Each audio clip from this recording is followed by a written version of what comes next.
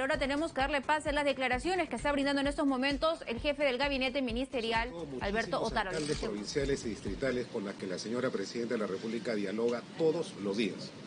Entonces hemos instalado el diálogo social y el diálogo político para poder tener una agenda de gobernabilidad y para poner exponer al país las decisiones que el gobierno viene tomando todos los días.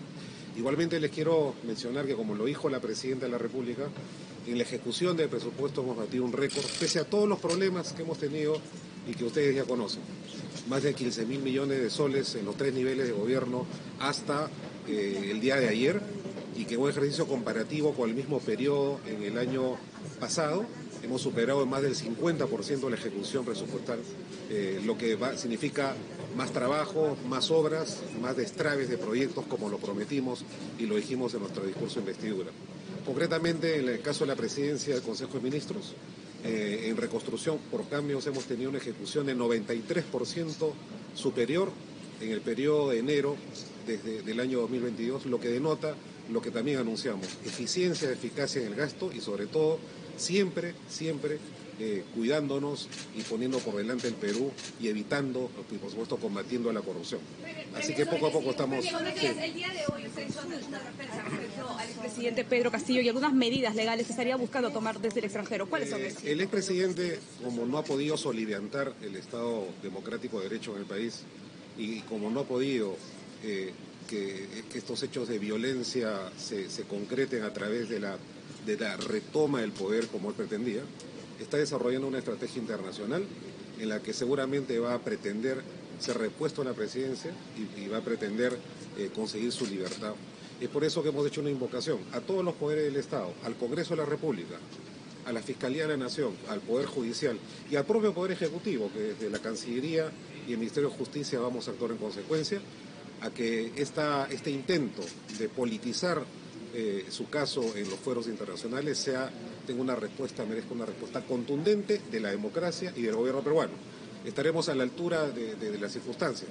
No olvidemos que ante la Comisión Interamericana de Derechos Humanos eh, se pueden presentar medidas cautelares y denuncias, eh, y entiendo que en este caso sería denuncias por temas políticos, por, digamos, cuestionar la prisión preventiva que tiene por el delito de atentar contra la democracia en el Perú.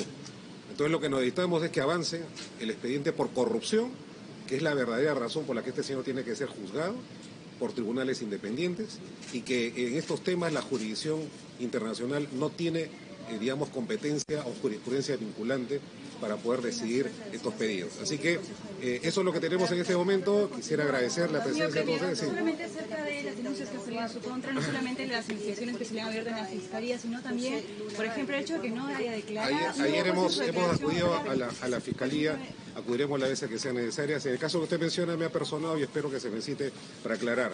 Eh, he dicho con contundencia que no he participado en, ese nombramiento y que nos eh, hemos declarado.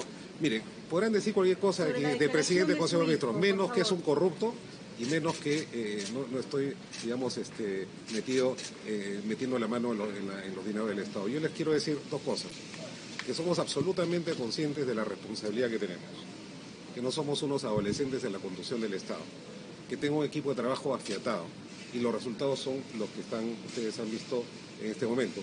Así que estamos absolutamente dispuestos a continuar. En el del Congreso de la República se va a ver una vez más el adelanto de elecciones. Sinceramente, Premier, ¿usted confía en que va a haber consenso en el Congreso luego de haberse negado tantas veces? Yo quiero felicitar a las fuerzas políticas que han conseguido que hoy día se ponga en agenda nuevamente eh, un tema tan importante como es el adelanto de elecciones, que además es una expectativa ciudadana. ¿No? Entonces se han conseguido los 66 votos y lo que hemos dicho siempre, en el Ejecutivo hemos presentado dos proyectos de ley, uno para el 2024 y uno para el 2023 y estamos totalmente seguros de que el Congreso tendrá que llegar a acuerdos por aproximaciones sucesivas para darle una respuesta eh, concreta a la ciudadanía. Una consulta, hay algunos partidos políticos que han sostenido estas reuniones con la presidenta Dina Boluarte y han señalado precisamente la intención de que su periodo continúe hasta el 2026 y que ellos estarían prestos a apoyarnos con la gobernabilidad.